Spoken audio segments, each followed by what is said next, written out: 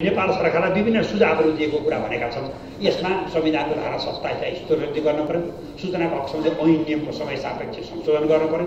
सातैवटा प्रदेशमा प्रादेशिक सूचना आयोग गठन गर्न पर्यो। सात सय त्रिपन्नवटै स्थानीय तहमा आरटिआई अम्बुसम्यान गठन गर्न पर्यो भन्ने सुझावहरू दिएका छन्। यसै गरी यो भूकम्पपछिको अवस्थामा चौध बुधे राहत र पुनर्स्थापनका सुझावहरू आयोगले दिएको कुरा बताउन चाहन्छु।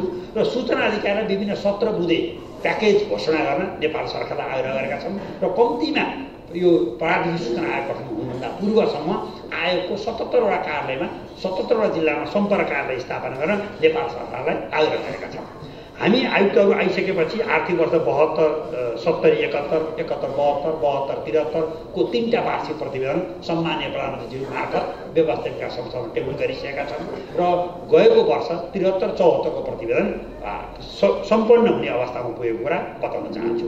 स्कुलको पाठ्यक्रममा सूचनाको हक विषयलाई समावेश गरेका छौँ हामीले चाहिँ करिब करिब सत्तरी जिल्लामा सूचनाको हक सम्बन्धी सम्मेलन गरेको कुरा बुदा नम्बर छमा छ।